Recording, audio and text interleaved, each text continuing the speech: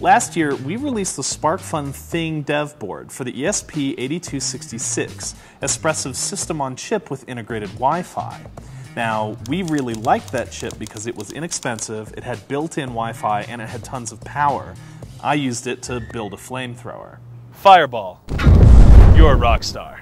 Now, Espressif has released the ESP32, an upgrade to the 8266, which not only incorporates Bluetooth Low Energy, but also a whole mess of new GPIO.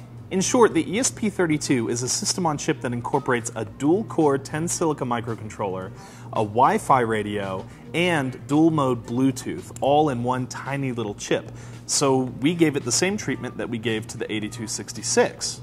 The SparkFun ESP32 Thing board includes everything that you need to program the ESP32 and incorporate it into your projects.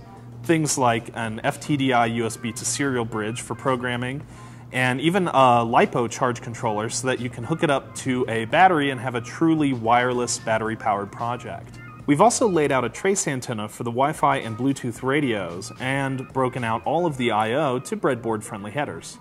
Finally, there's an Arduino core available for the ESP32, which means that you can program the thing using the Arduino IDE. That makes the ESP32 Thing a really great platform for developing either your hobby project or your Espressif based IoT product.